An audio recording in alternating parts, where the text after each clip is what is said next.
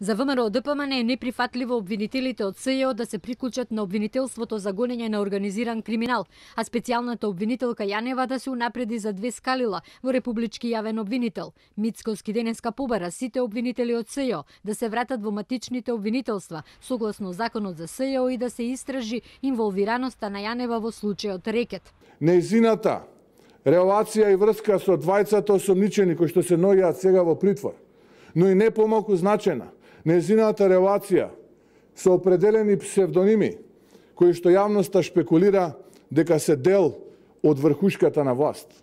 Истовремено, проверка и детална анализа и истрага за директната или индиректната вмешаност на сите обвинители кои што беа до сега помошници на специјалниот јавен обвинител. Неприфатливо е според Мицковски останатите вработени како што ги нарече блиски роднини и пријатели на Јанева без никаква селекција да се прифрлат во новото обвинителство. Фузијата што ја предлага СДСМ е атак врз политичките неистомисленици и амнестија на криминалите на врхушката на СДСМ вели Мицковски. Тој предлага сите предмети од СЈО до 30 јуни 2017 да ги преземе Републичкото јавно обвинителство во фаза во која што се, а државниот јавен обвинител да ги прераспредели определи според принципот на субординација во рамките на едно обвинителство, односно државното обвинителство. Тоа е тој кој што ќе одлучи.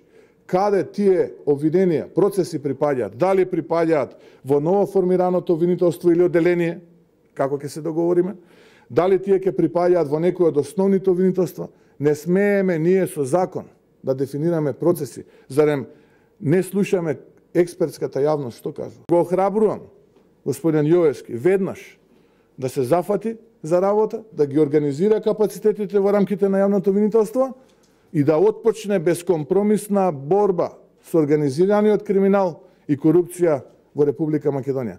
Ке повторам, без разлика на име, презиме, функција, партија, нација. Мицковски во изјавата на Рикер дека помина времето на политички игри, не гледа притисок врз него дека треба да се прифати владиното решение на законот.